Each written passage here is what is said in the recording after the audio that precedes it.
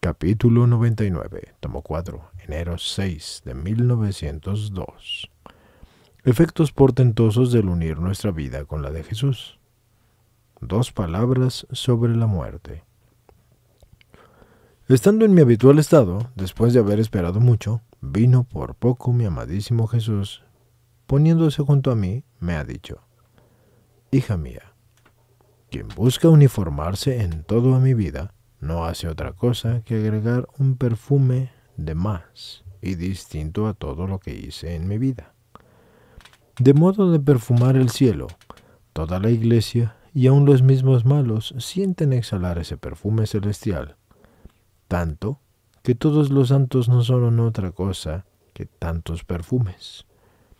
Y lo que más regocija a la iglesia y al cielo es que son distintos entre ellos.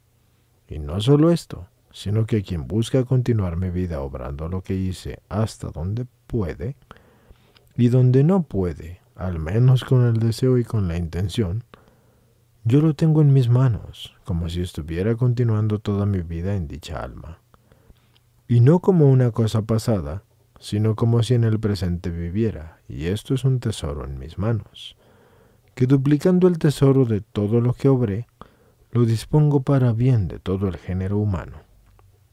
Entonces, ¿no quisieras tú ser uno de estos? Yo me he sentido toda confundida y no he sabido qué responder, y Jesús ha desaparecido, pero poco después ha vuelto y al mismo tiempo veía varias personas que temían mucho a la muerte. Entonces yo, viendo esto, he dicho, Amable Jesús mío, ¿será defecto en mí este no temer la muerte mientras que veo que tanto la temen los demás? Y yo en cambio pensando solo en que la muerte me unirá para siempre contigo y terminará el martirio de mi dura separación.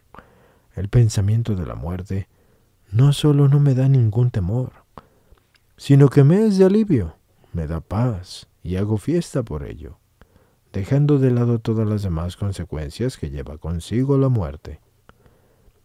Y Jesús me dijo, hija, en verdad ese temor extravagante de morir es locura, ya que cada uno tiene todos mis méritos, virtudes y obras, como pasaporte para entrar al cielo habiéndoselos dado en donación a todos, y mucho más, si aprovechando esta donación mía, han agregado lo suyo.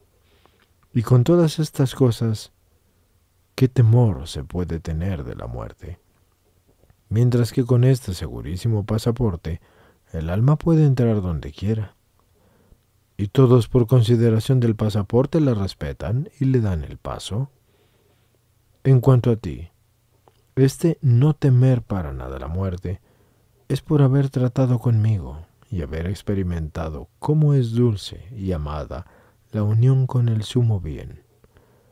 Pero debes saber que el homenaje más agradable que se me pueda ofrecer es desear morir para unirse conmigo. Y es la más bella disposición del alma para purgarse. Y sin ningún intervalo, pasar directamente por el camino al cielo. Dicho esto, ha desaparecido.